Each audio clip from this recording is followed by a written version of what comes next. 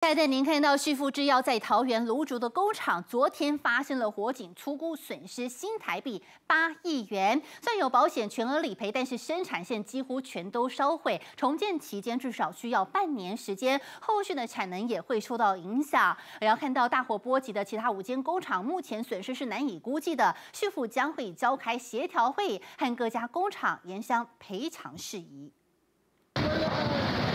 熊熊火势伴随浓烟直窜天际。二十号，旭富制药在桃园芦竹的厂房发生爆炸，火势持续闷烧。制药生产线主要厂房全毁，财损粗估高达八亿元。他今天是没有上班了哈，今天没有上班。董事长翁维俊第一时间赶到现场，神情凝重，因为大火将厂房内大部分生产线烧毁，甚至波及其他五间工厂。爆炸物喷溅，火势一路蔓延，从桃园纸厂东洋基金一路延烧到最旁边的国盛工业，加上东北季风吹。厂区内的广伦杰和红利纺织也受到波及。我们都可以看到，我们布了六个水线，防护住了这这个工厂。这边布了两个水线，包括远雄，包括广伦以及开厂，我们全部有房住住了。消防出动七十七辆消防救护车，全力救灾，防止火势扩散。下午五点三十二分，各个厂房火势全面控制。晚间八点五十分，第一间国盛工业火势顺利熄灭。接下来五个多小时，两百多名消防全力救灾，各个厂房陆陆续续清理残火。首当其冲受到波及的桃园职场厂房被大火吞没，一直到凌晨两点三十四分才顺利扑灭。那损失大概什么样子？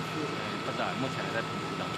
跟我们联络说说需要赔偿还是怎么样？会有开协调会处理。药厂有说会来理赔吗？是他们炸掉，火延烧在这边来的。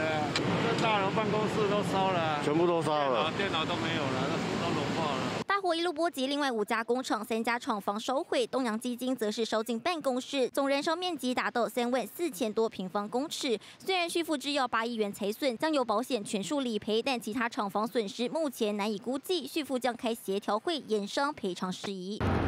朱荣之在旭富制药的唯一生产厂区全部烧毁，出货宣告延宕，即使复工重新安装机器设备也得花上半年，这让旭富不得不和客户取消明年第一季订单，损失金额大约六亿元。二十一号开盘股价更是直接跌停，后续影响恐怕在扩大。记者谢祥林、曹天采访报道。